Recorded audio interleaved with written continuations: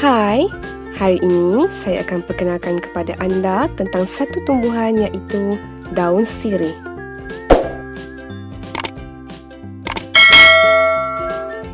Nama saintifik daun sirih ialah Piper betel, manakala dalam bahasa Chinese dipanggil Daun sirih ialah sejenis pokok yang menjala dan merupakan satu bahan penting dalam kebudayaan Melayu dan India. Pokok ini berasal dari Malaysia dan kini mula turut dijumpai di India, Indonesia dan Sri Lanka. Daun sirih mempunyai bentuk yang hampir menyerupai daun kaduk. Daun sirih penting dalam adat perkahwinan dan perubatan Melayu tradisional kerana mengikut adat perkahwinan, masyarakat Melayu jika tiada sirih yang diletakkan di dalam tepak dan dipanggil tepak sirih. Perkahwinan itu dianggap tidak lengkap dan tidak mengikut adat. Pada kebiasaannya, pokok sirih banyak ditanam di kampung-kampung. Daun sirih berwarna hijau gelap dan bersaiz kira-kira 15 cm panjang dan 10 cm lebar. Ia juga mudah didapati di pasar, terutama di kawasan pedalaman. Antara kebaikan daun sirih ialah digunakan bagi proses mengubati pesakit ataupun gangguan makhluk halus. Daun sirih juga boleh dimakan bersama-sama gambir untuk mengubati penyakit cirit birit. Selain itu, kebaikan daun sirih juga dapat menghilangkan nafas berbau masalah kulit dan jerawat, mengubati keputihan dan kegatalan pada bahagian sulit wanita, mengurangkan bengkak gusi, menghilangkan bau badan, melancarkan haid dan meredakan senggugut, mengubati penyakit asma, menyembuhkan batuk dan penawar sakit jantung. Terdapat tujuh cara menggunakan daun sirih. Cara pertama ialah dengan mengambil 3 hingga 5 helai daun sirih dan bersihkan. Kemudian, rebus daun sirih tersebut sehingga mendidih. Selepas itu, tunggu air rebusan tersebut dan pastikan suhu air rebusan tersebut mengikut suhu bilik. Pastikan anda tapis hampas daun sirih itu dan minum rebusan tersebut ketika anda mengalami haid atau ketika menstruasi. Cara kedua ialah dengan menyediakan tiga helai daun sirih. Selepas itu, masukkan dua gelas air ke dalam periuk dan masukkan tiga helai daun sirih tersebut. Tunggu sehingga air mendidih dan setelah mendidih, tutup api dapur. Kemudian, tunggu sehingga air rebusan daun sirih menjadi suam. Seterusnya, basuh muka anda dan letakkan sirih tersebut di seluruh muka anda yang berjerawat secara rata. Biarkan selama 30 minit. Kemudian, bilas wajah anda menggunakan air bersih. Cara yang ketiga pula ialah dengan menyediakan 2 hingga 3 helai sirih dan bersihkan. Kemudian, panaskan air dan masukkan daun sirih tersebut.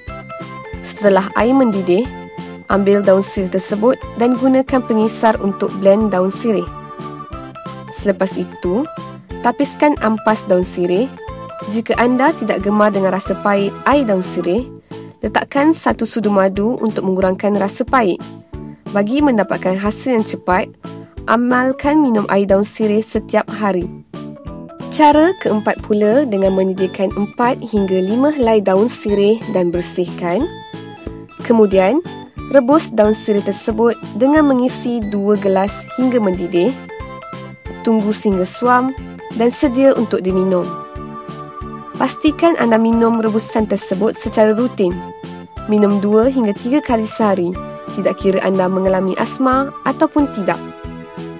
Cara kelima pula dengan menyediakan tiga hingga empat daun sirih yang masih segar. Cuci daun sirih hingga bersih dan pastikan tidak ada kotoran yang melekat. Selepas itu, rebus daun sirih hingga mendidih, kemudian angkat dan biarkan air rebusan daun sirih mengikut suhu bilik. Kemudian, tapis air tersebut dan minum. Anda boleh menambah madu atau gula untuk mengurangkan rasa pahit rebusan daun sirih. amalkan minum rebusan daun sirih ini pada waktu malam untuk dua kali seminggu. Cara yang keenam ialah dengan menyediakan 5 hingga 10 helai daun sirih dan bersihkan. Kemudian, rebus daun sirih dengan 500 ml air bersih sehingga mendidih. Akhir sekali, biarkan air rebusan daun sirih menjadi suam dan tapis hampas daun sirih itu. Gunakan air rebusan tersebut untuk di bahagian sulit wanita. Lakukan dua kali sehari sehingga keputihan dan kegatalan hilang. Cara yang terakhir pula sangat mudah iaitu bagi mengubati pendarahan pada hidung, daun sirih digulung dan disumbat ke dalam lubang hidung untuk menghentikan pengaliran darah dari dalam hidung. Jadi, marilah kita mengamalkan daun sirih untuk digunakan bagi proses mengubati pesakit ataupun gangguan makhluk halus. Daun sirih juga boleh dimakan bersama-sama gambir untuk mengubati penyakit cirit-birit. Selain itu, kebaikan daun sirih juga dapat menghilangkan nafas berbau, masalah kulit dan jerawat, mengubati keputihan dan kegatalan pada bahagian sulit wanita, mengurangkan bengkak gusi, menghilangkan bau badan, melancarkan haid dan meredakan senggugut, mengubati penyakit asma, menyembuhkan batuk dan penawar sakit jantung. Inilah perkongsian tentang kebaikan daun sirih. Anda nak tahu tak apa pula kebaikan kurma dan habatus sauda?